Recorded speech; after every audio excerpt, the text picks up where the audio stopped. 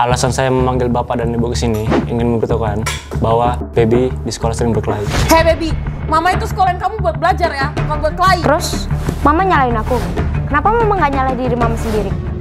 Mah, baby baru siap masak. Mama cobain ya. Eh baby, mama tuh tahu kamu ya, gak mungkin kamu bisa masak. Tapi serius, Mah. Ini baby sendiri yang buat. Dari kecil kerjaan kamu tuh cuma bohongin mama, mana mungkin mama percaya. Tapi baby nggak bohong, Mah. Lihat nih tangan baby. Kamu gimana sih? Kalau habisnya makan tuh dapur.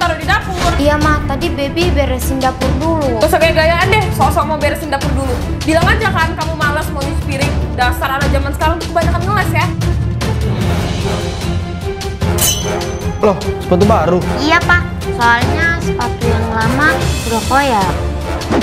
Apaan sih? Ini cuma sobek dikit, dijahit dan selesai. Tapi pak, itu sobanya udah besar. Kamu kira gampang cari uang?